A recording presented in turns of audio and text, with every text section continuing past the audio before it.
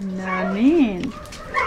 Tässä on uusi tulokas meidän adop- uh, adoptio-ohjelmaan. The right back leg. Uh, uh, he told me uh, take her with this uh, with the leg. Uh, the muscle is deformed Yeah, because yeah. what something maybe he fight with other dogs and some some muscle was uh, was broken.